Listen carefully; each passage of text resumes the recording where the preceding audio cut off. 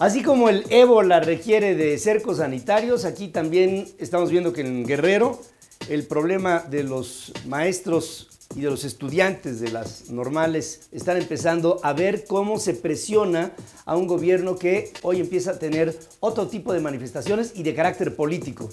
Después de la persecución de José Luis Abarca como presidente municipal de Iguala y de su esposa, que vienen todos con un tinte periodista, ahora es detenido César Miguel Peñalosa, alcalde de Cocula. Y aquí el tinte interesante es que es priista y es detenido junto con policías municipales. Con ello se ve que el esfuerzo que se hace es un esfuerzo grande por tratar de contener o de alguna manera de ver involucrados a todos los que pudieran estar en, este, en esta desaparición de estudiantes involucrados.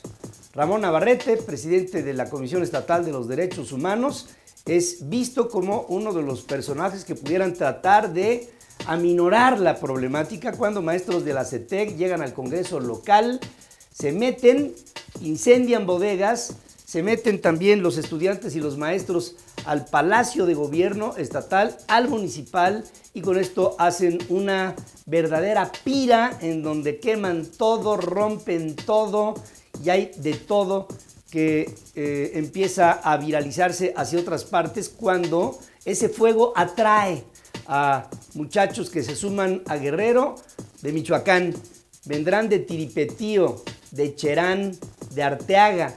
Se robaron 35 camiones, o sea, los secuestraron para con estos llegar hasta Chilpancingo y maestros normalistas de Oaxaca toman la caseta de la carretera Oaxaca-Puebla, cobran ahí lo que quieren, ya saben, como si fueran autoridad y con ello también se solidarizan, jalan dinero para después acabar también en Chilpancingo.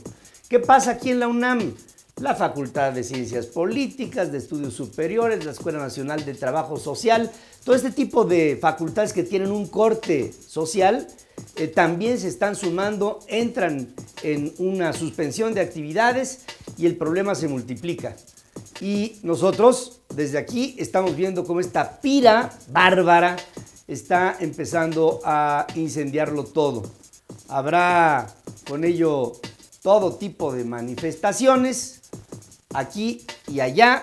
Hoy se ha visto cómo se ha quemado el Palacio de Gobierno en donde atiende Ángel Eladio Aguirre, que por cierto no ha aparecido por ninguna parte, ni siquiera fue a la reunión de la CONAGO.